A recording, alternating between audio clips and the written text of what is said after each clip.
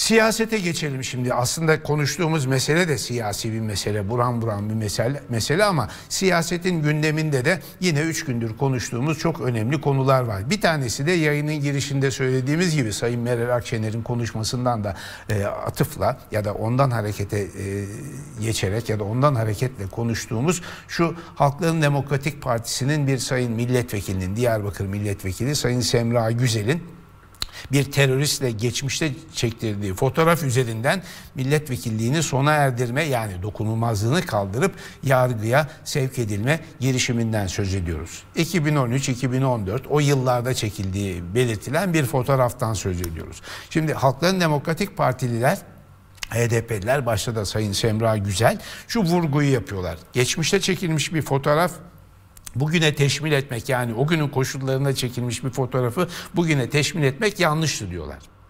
Tabii ki HDP'li bir milletvekiline de ya da başka herhangi bir partiden bir milletvekiline de şu soru sorulmalı. Sorulacaktır. Mutlaka işte bu fezleke tanzim edilip yargı önüne çıkartıldığında siz ne maksatla, hangi kapasiteyle oraya gittiniz? Bu eli silahlı Kalaşnikovlu teröristle ki sonradan 2017 yılındaki bir operasyonda öldürüldüğünü anlıyoruz o e, teröristin. E, o teröristle hangi kapasiteyle fotoğraf çektirdiniz diye ona sorulmalıdır. Ve o da izah edebilmelidir. Yani o örgütle bir irtibat mı, iltisak mı, örgütsel faaliyete katılım mı ya da herhangi bir şekilde destek mi ya da bugün milletvekili olması hasebiyle ya da milletvekili kapasitesiyle ya da sıfatıyla onlarla hala bir bağlantınız var mı? Onlara yardım ediyor musunuz? Partinizin bir bağlantısı var mı? Bu sorular sorulacak. Bu sorular sorulmalı zaten. Çünkü hiçbir meşru siyasetçinin ya da meşru düzlemde siyaset yapan bir milletvekilinin ya da herhangi bir politikacının terörle, terör örgütüyle, teröristlerle bu şekilde sıkı fıkı olma lüksü yoktur. Olursa meşru zeminde siyaset yapmıyor demektir. Bu sorular sorulmalı ama herkese sorulmalı. Yani bütün siyasi partilere sorulmalı. Bütün siyasi partilerin mensuplarına sorulmalı. Yani 2014 yılında ya da 2013 yılında Fethullahçı çetenin lideriyle fotoğraf çektirmiş olan siyasetçilere de sorulmalı. AKP'li, CHP'li bilmem neleri hangi partiden olursa olsun. İsmi önemli değil. Bütün siyasetçilere yani eğer böyle bir rutin olacaksa, böyle bir uygulama olacaksa, böyle bir standardı varsa Türkiye Büyük Millet Meclisi'nin herkese soracak. 2013 yılında bilmem kaç yılında Türkçe olimpiyatları vesilesiyle yaptıkları konuşmalar, geçmişte attıkları tweetler ya da Pensilvanya'da o FETÖ e, denilen alçağın dergahında huzurunda böyle bir ulu kişinin öyle bir yüce kişinin huzurunda durur gibi el pençe divan gruplar halinde ya da teke tek çektirdikleri fotoğrafların da hesabı sorulacak.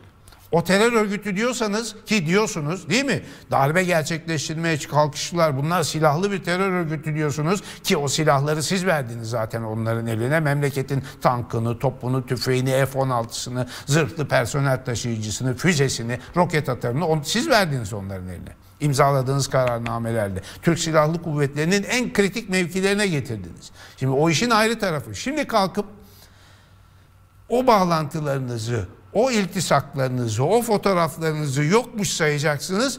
Bütün hadiseyi sadece getirip bir HDP'li milletvekiline bağlayacaksınız. Yok öyle ya ama. İşin bir de HDP tarafı var. Yani o HDP'liler Kandil'e bilmem nereye bu terör örgütünün e, yuvalarına e, teröristlerin inlerine, mağaralarına bilmem nelerine hangi koşullarda gittiler onu da tartışacağız. O unutulmuyor. Çözüm süreci adı altında teröristlerin Türkiye topraklarından ellerini kollarını sallayarak yaptığınız anlaşma öyleydi. Hepimiz hatırlıyoruz. Oslo'larda bilmem nelerde İmralı'daki beş çaylarında öyle anlaşmalar yaptınız teröristlerle. Oturdunuz. Ondan sonra başka dönemlerde, başka düzlemlerde teröristle asla pazarlık olmaz, asla bilmem ne olmaz dediniz ama o zaman ne diyordunuz? Gönderdiysen ben gönderdim. Görüştürdüysen ben görüştürdüm diye açık açık söylüyordunuz. Dağa gittiler, evet Kandil'e gittiler. Selahattin Demirtaş'ı, Pervin Buldan'ı bilmem e, yüksek dağa hatırlamıyorum isimlerini. Gittiler orada pos pos fotoğraflar verdiler. Boy boy fotoğraflar çektirdiler. Doğru muydu o fotoğrafların çektirilmesi? Bence yanlıştı. Çünkü terör örgütüyle bir siyasetçi gidip herhangi bir kapasitede de olsa fotoğraf çektirmez. Bunu bir şey diye sunmaz. Oturulur konuşulur bir çözüm süreci varsa onunla ilgili bir mesaj gitmişse ya da bir pazarlık yapılıyorsa ki yapılır bu başka ülkelerde yapıldı. Ben şahsen biliyorum Kuzey İrlanda ile e, Britanya'nın çözüm sürecinde oradaydım. Çok yakından takip ettim. Terör meselesini, terör belasını ortadan kaldırmak için teröristlerle görüşülür mü? Görüşülür. Bal gibi görüşülür. Ama 2013'te 2014'te yaptığınız o değildi. Başka bir şeydi.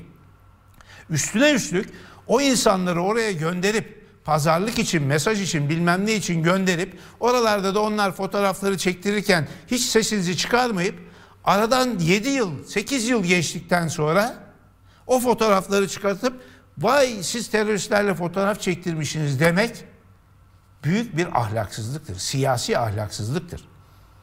Şimdi birileri mesela diyelim Oslo'daki görüşme sırasında ya da İmralı'daki görüşme sırasında gizlice bilemem yani her kimse kötü niyetli insanlar da olabilir. Sizin o masada sizin derken devletin temsilcilerinin yani siyasi iktidarın temsilcilerinin konuşurken, gülüşürken fotoğraflarını çekmiş olsa bugün servis etse hoşunuza gider mi? Vay bak sen onlarla gülüşüyormuşsun. APO denilen alçakla, hainle, terörist başıyla gülüşüyormuşsun dese masada hoşunuza gider mi? Canım o gün çözüm süreci vardı başka bir şey yapıyorduk diye savunmaya çalışırsınız ki haklı da olabilirsiniz.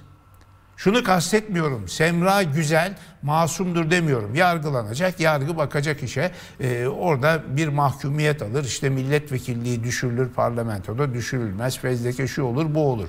Oylama yapılacak. Göreceğiz onun sonucunu. Ama çifte standart uygulamamak gerektiğini söylüyorum. Yani siz bir dönem HDP ile birlikte, APO ile birlikte, Selahattin Demirtaş'la birlikte yani Edirne ile, Kandil ile, İmralı ile bütün bu ıı, unsurlarla birlikte bir şeyler yapmaya kalkışmışsınız. O dönemde Dolmabahçe şey mutabakatları işte deklarasyonlar bilmem neler Oslo'da masada kikirdeşmeler hatırlayın o Oslo tutanaklarını. Orada devletin istihbarat örgütünün temsilcisi diyor ki biz sizin biliyoruz nerelerde bombalarınız olduğunu, nerelerde depoladığınızı filan. E yani dokunmuyoruz demeye çalışıyor. Ya gelin şu işi e, güzellikle halledelim demeye çalışıyor. Onların bir sorumluluğu olmayacak mı? Yani bir terör örgütüne gidip de ya biz sizin bombalarınızın nerede olduğunu biliyoruz diyen insanı çağırıp sormayacak mısın? Sormayacaklar. Niye? Hatırlayın o zaman bir yasa çıkardılar.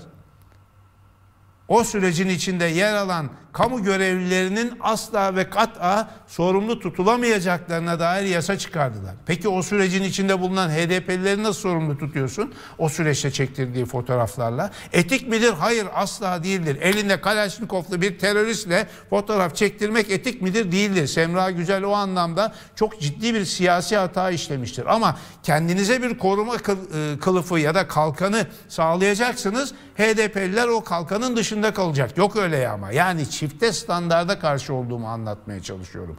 Bu